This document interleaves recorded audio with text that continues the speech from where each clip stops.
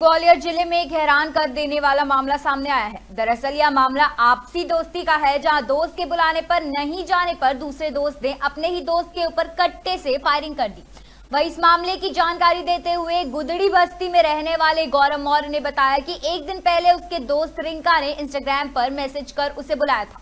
लेकिन गौरव नहीं गया तो रिंका ने इस बात से नाराज़ होकर उसके साथ मारपीट कर दी।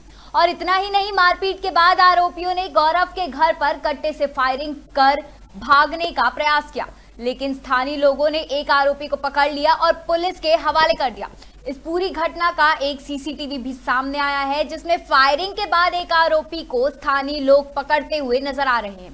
फ़िलहाल पुलिस ने दोनों ही आरोपियों को गिरफ़्तार कर लिया है और उनके खिलाफ मामला भी दर्ज कर लिया है। ग्वालियर से योगेश बिसारिया की रिपोर्ट। ग्वालियर थाने में कल की घटना थी। एक, दो जानकार लड़के थे, आपस में दोस्त थे। किसी बात को लेकर उनमें विवाद हुआ। विवाद होने के बाद में एक लड़का, जिसका पूर्व में भी आपराधिक रिकॉर्ड है, वो उसके घर के सामने गया, फायरिंग की है। दो लड़के उस घटना में शामिल थे।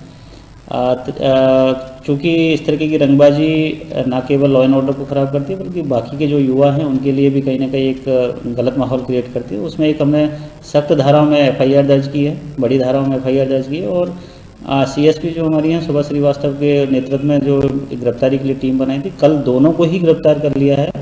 आज मान्य न्यायालय के सामने पेश करके उनको हम पेश करेंगे और इस तरीके की जो रंगबाजी करने वाले हैं, उनके लिए कड़ा संदेश है कि बिल्कुल भी इस तरीके की हरकत ना करें, हिमाकत ना करें। ग्वालियर पुलिस बहुत सख्ती से उनसे निपटेगी।